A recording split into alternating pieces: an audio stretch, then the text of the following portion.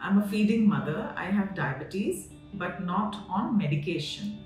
How to reduce sugar and weight naturally. Right. So since uh, you are feeding, there are special diets that you'll need to follow, which will not make you gain weight because I don't know what kind of diet you're following right now. Okay.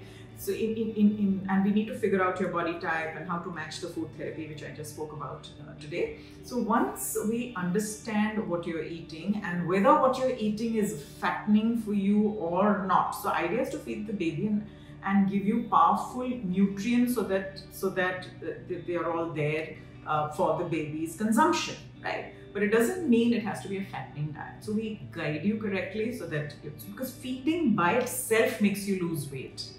Just the act of lactation makes you burn calories. So weight loss is actually automatic. Uh, that's the way nature has designed it. Once you start feeding the baby, you start shedding the pounds.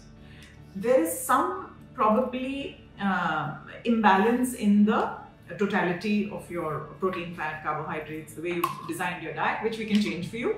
That is uh, number one. And then, of course, uh, there are uh, nutrients that we give and Ayurveda that we give, and that really works. So, we have feeding mothers who uh, lose weight in a very healthy manner. And uh, so, that's possible. And, and obviously, as you lose weight, your blood sugar will also fall because we will be giving you low glycemic index foods in the diet.